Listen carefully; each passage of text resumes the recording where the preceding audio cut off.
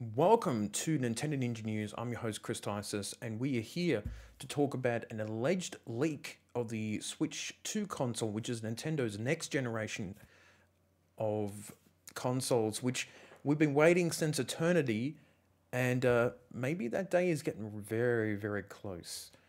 So basically, um, Video Game Chronicles is reporting that this has come from a Chinese social media site that shows with a larger 8 inch screen magnetic Joy-Cons, which has been rumored a few times in the past, and USB C ports on the top and the bottom of the console, which is um, interesting. I guess you can put it upside down or flipped up. I'm not too sure what that means uh, from Nintendo's point of view. Now, also based on the images that I will show you, the Switch 2 will have 12 gig of RAM, um, support for HDMI 2.1, 256 gig of internal storage compared to the 32 gig, which is good. Um, similar controls to the current Switch. There's some notable changes such as revised SLSR buttons and front-facing play LEDs, which is interesting. So, let's have a look at the images here. So, this looks like a bit more of a grown-up version of the Switch, doesn't it? it looks very sleek. Uh, the image looks much larger. The buttons look a little bit flatter.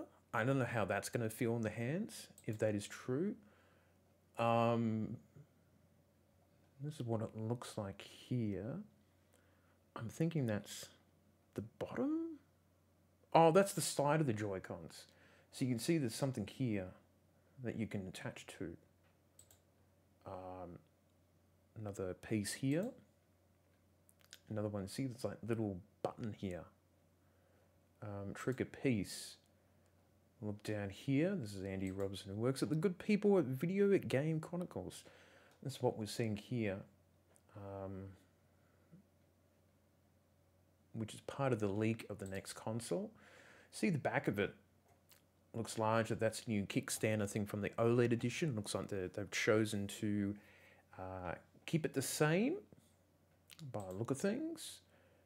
Looks like there's that top USB uh, C port. There's the head uh, head jack. There is the um, the cartridges, and I think that's probably your volume and the power button. I'm assuming that is going to be it.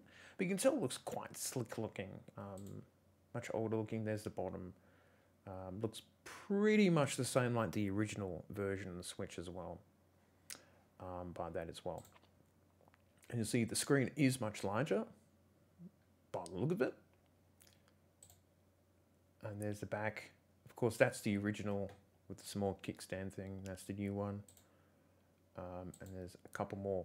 So um, this is pretty interesting. I don't normally talk about Switch 2 leaks and rumors and things like that. We are one of three channels online that don't really talk about it like every week. But my my feeling is um, this is it feels like it's legit. And based on the rumors that we've had about the, the descriptions, the 12 gig and the uh, internal storage and, and uh, the full and uh, the magnetic Joy-Cons, and and it does look like um, something that Nintendo would release in terms of it looks like a bit more of a grown-up version of the Switch, and um, some of the tweaks and changes I've done to the Joy-Cons. So that's all we've got to report at this very point in time. There could be something else that's leaked. There could also be an official announcement from Nintendo that um, you know that they're going to be uh, dropping the bomb in terms of a Switch 2 presentation because we feel like it's getting close. And if it's not, then you're probably going to see more leaks and of this type of nature because like I think Nintendo should have revealed it a bit earlier um, to prevent something like this happening.